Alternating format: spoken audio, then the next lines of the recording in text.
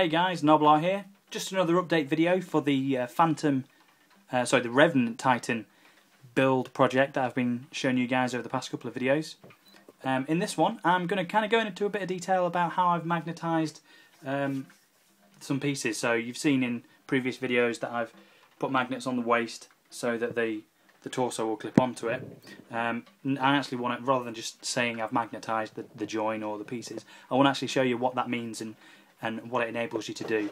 So um, in this one, I want to be, because the, the Revenant comes with two head options, ta-da, I, I'm going to be magnetising those. So basically, instead of sticking, gluing them on, and them never being able to move or twist and look to either side, and I'm only going to be able to use one of them, what I'm going to do, uh, and what I've kind of already started to do, is I'm going to magnetise the join. So you can see that it's it's a ball on the bottom of the head that goes into whoop, a socket in the neck. So the visor comes off the head. I don't need that for this project. And you can see the pilot sat inside. Some quite nice detail as well there is. Um, so what I need to do really is put a magnet drill a hole, put a magnet in that hole and glue it in place. And then on the other piece, which I've already done, drill a hole into the neck, put a magnet in the neck, glue it in, and then the only real trick or thing you need to get right in this is one, make sure, well, there's two, make sure you glue the magnet in place, or otherwise when you pull them apart, the magnets will just come out. The But the real trick is, and it's not hard, is just making sure before you glue the magnet in place that they're going to attract each other and not repel. And that, that all that is is making sure the magnets are the right way round, really. So in this one, I'll just describe what I've done and then I will go and show you how I did it on the bottom of the neck, the head. So all I've got is my trusty Dremel rotary tool attachment, which is there. It's on a it's on a towel just to keep the noise down a little bit and pad pad the vibrations and soften them out um, and that comes through a hose into a drill and it's just a kind of standard drill size. It's too smaller than that size magnet so I had to drill a hole and then kind of wiggle the drill bit around to make the hole bigger. And then I just went deep enough so that it would uh, the magnet would sink in below kind of just below the line of the the socket so that the magnet's not sticking out from the from the model. And then I glued it in. Um, now, basically, for the first magnet, you don't really have to worry which way around it goes in. You just glue it in, and then it's the second one you kind of align to it. You make sure the second one lines up with that one. So just the first one, don't worry about it. Just glue it in place and make sure you're happy with where it is. That's pretty much bang in the centre of the neck, so I'm happy with that. Job done. So now I'll put that to one side at the back, and I'm, I'm basically just going to kind of move on to drilling a hole in the bottom of the head and putting a magnet in. Now, because the head is quite small, it's quite light, um, I've got a big magnet in there, that's going to do all the work, that's going to provide all the pulling power. Um, I'm going to put a slightly smaller magnet, in fact quite a, lot smaller magnet, in the bottom of the head, just so that it's less work, it's a cheaper magnet, I don't have to spend as much money, they're more expensive than these ones, um, so I can use a cheaper magnet and still get the same job done and I don't have to drill as big a hole. So um, now there is a bit of a trick in how you uh,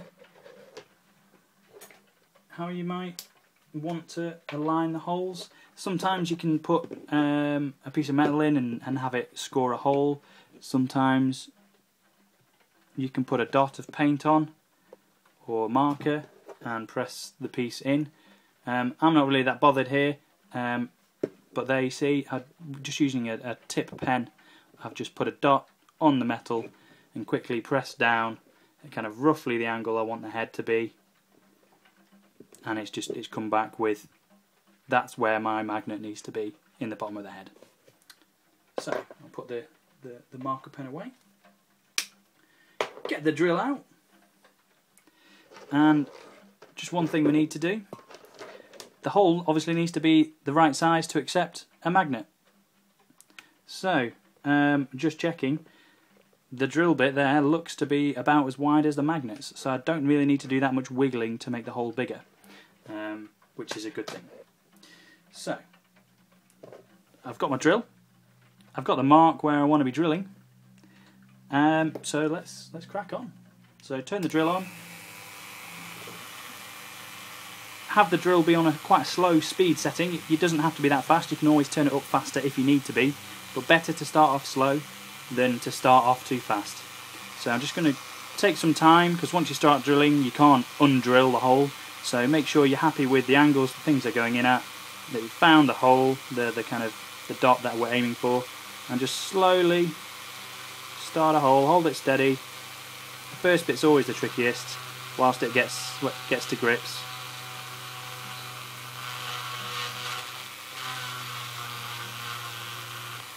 Again, just take time every so often, clean the join, come back, see what you were looking at. In this one I will just wiggle the drill a bit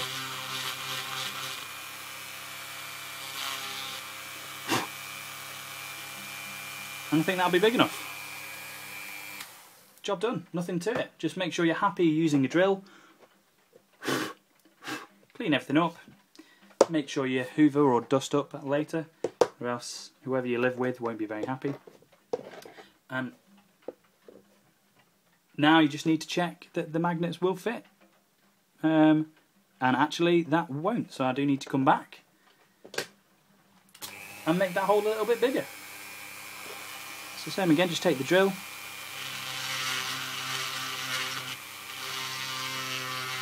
And wiggle it around from side to side.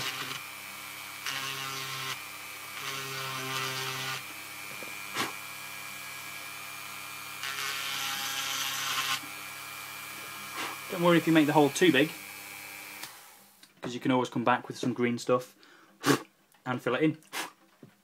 So job done. So that, that, that magnet fits in now, you can see if I move my arm.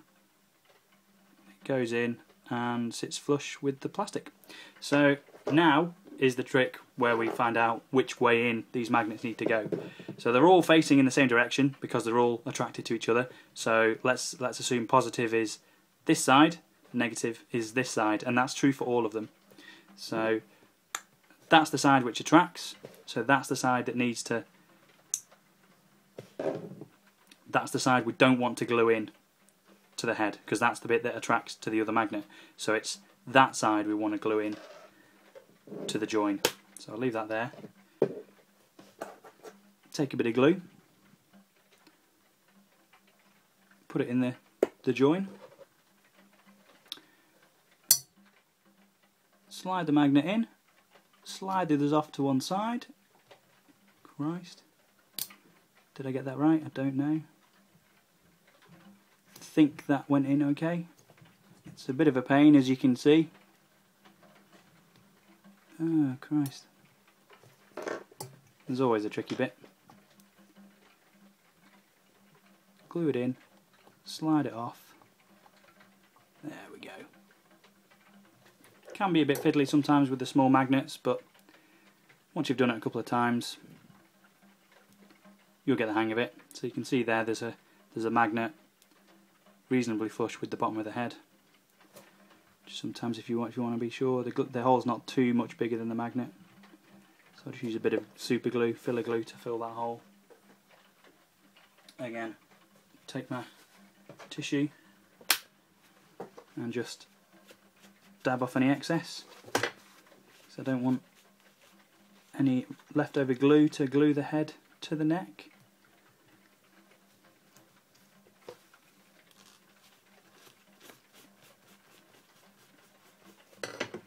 Yep, that's that's not that sticky anymore. That's fine.